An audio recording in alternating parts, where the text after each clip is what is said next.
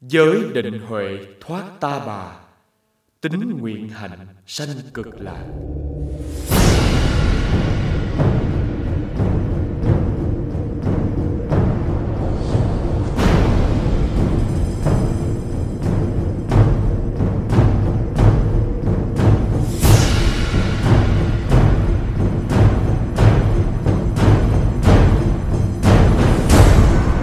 Một tác phẩm điện ảnh Dựa trên những câu chuyện có thật Về một nhân vật đặc biệt.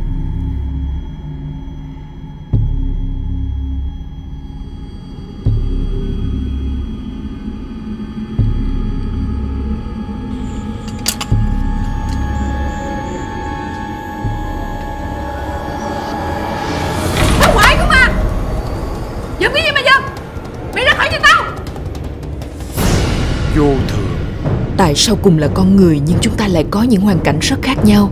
Tại sao cuộc đời con người thường gặp nhiều sóng gió? Chúng ta có mặt ở trái đất này với sứ mệnh gì?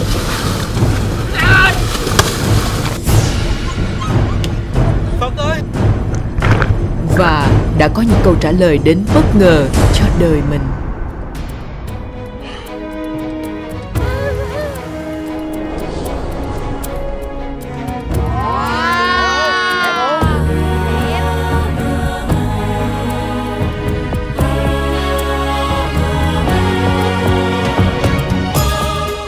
Nơi nào có cảm Nơi đó có ứng. Những điều không thể Cũng trở thành có thể. Có một điều gì đó Đang tới dần. Con đã đến rồi. Con đến đường nói cấm rồi.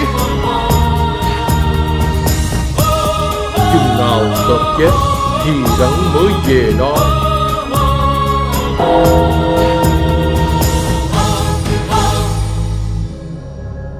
Con xin phát nguyện Dành thời gian ở trong căn phòng này Để tả hết bộ kinh pháp qua.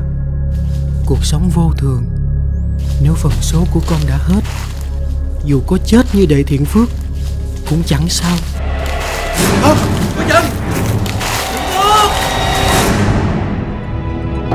Về phía mặt trời. Bộ phim dựa trên những câu chuyện về cuộc đời của Đại Lão Hòa Thượng Thích Trí Tịnh Chủ tịch Hội đồng trị sự Phó Pháp chủ Giáo hội Phật giáo Việt Nam Đạo diễn Điệp Văn. Hãng phim Sen Việt thực hiện. Trong bộ phim này, những người làm phim chúng tôi xin chia sẻ đến tất cả mọi người một thông điệp của tình yêu thương từ những cảm nhận sâu sắc về cuộc đời và đạo nghiệp của một vị cao tăng Việt Nam, Hòa thượng Thích Trí Tịnh.